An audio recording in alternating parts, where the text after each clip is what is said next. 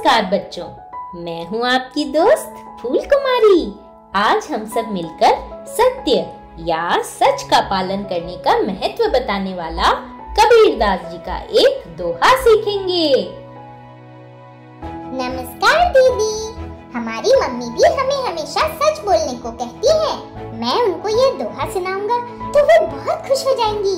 सिखाइए सिखाइए।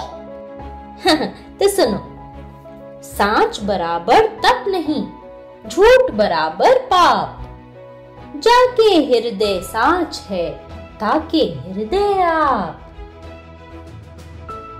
इस दोहे का सीधा सरल मतलब यह है कि सच के बराबर कोई तप नहीं या तपस्या नहीं होती और झूठ के बराबर कोई पाप नहीं होता। और जिस मनुष्य के हृदय में सत्य है, उसी के हृदय में स्वयं भगवान निवास करते हैं। अच्छा मतलब अगर मैं हमेशा सच बोलूँगा तो मेरे अंदर भी भगवान घर बना लेंगे? हाँ पर सच से यहाँ कबीरदास जी सिर्फ़ सच बोलना ही नहीं बल्कि सच का जीवन के हर पहलू में पालन करने की बात भी कर रहे हैं।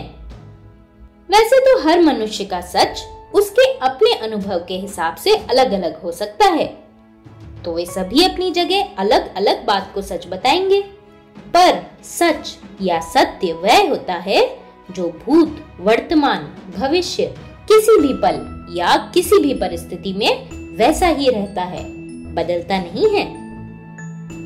और हमारा अंतर्मन हर परिस्थिति में हमें सच की राह दिखाता है, जिसे हम टालकर अपने दिमाग की सुन अपने अनुकूल परिस्थिति बनाने वाली बात को ही सच सिद्ध करने में लग जाते हैं है ना? हाँ पर ये सच नहीं हुआ ना दीदी? ये तो झूठ ही हुआ ना?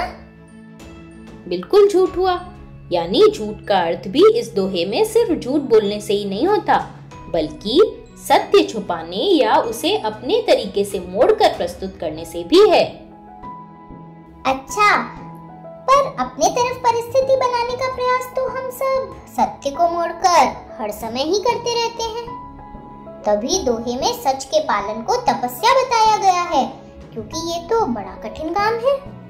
और झूठ, या सत्य को परिवर्तित करके प्रस्तुत करने को पाप बताया गया है, जो भी हम सब खूब करते हैं।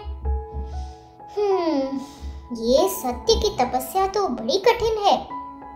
हम तो झूठ वाला पाप ही करते रहते हैं दीदी। तो क्या अब हमारे अंदर कभी भगवान निवास नहीं करेंगे? अरे अरे ये दोहा मैंने आपको निराश करने के लिए थोड़े ही ना सिखाया है। ये तो आपने सुना ही होगा कि ईश्वर तो हम सबके अंदर होते हैं। अरे हाँ तो फिर इस सत्य की तपस्या का क्या प्रयोजन? अरे पूरी बात तो सुनो। क्या आपको मेरा सिखाया हुआ पूर्ण मदह वाला शांति मंत्र याद है? हाँ दीदी याद है। ओम पूर्ण मदह पूर्णमिदम पूर्णात् पूर्णमुदच्यते पूर्णस्य पूर्णमादाय पूर्णमेवावशिष्यते।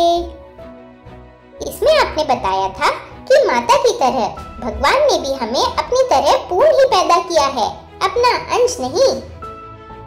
हाँ माता शिशु को छोटे से बच्चे के रूप में ही जन्म देती है। जो बड़ा हो माता पिता की ही तरह पूर्ण मनुष्य बन जाता है।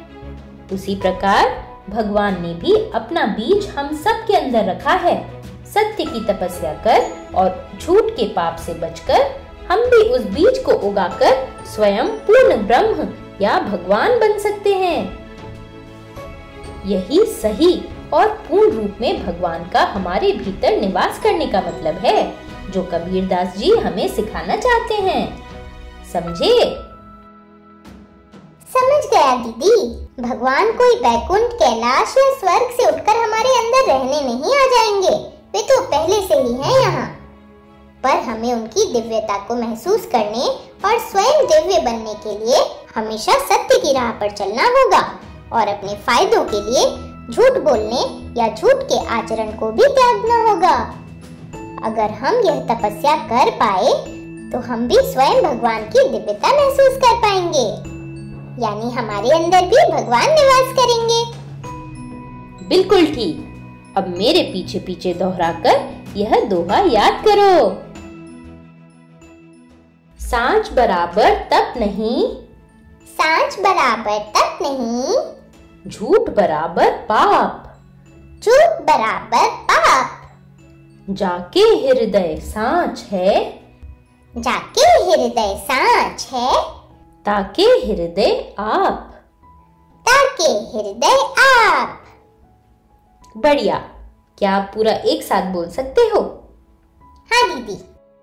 सांच बराबर तप नहीं झूठ बराबर पाप। जाके हृदय सांच है ताके हृदय आप। बहुत बढ़िया। अब अपने जीवन में सत्य की राह पर चलने का प्रण लो। आज के लिए बस इतना ही। अपनी दीदी फूल कुमारी को दीजिए विदा। जय माँ भारती। जय माँ भारती।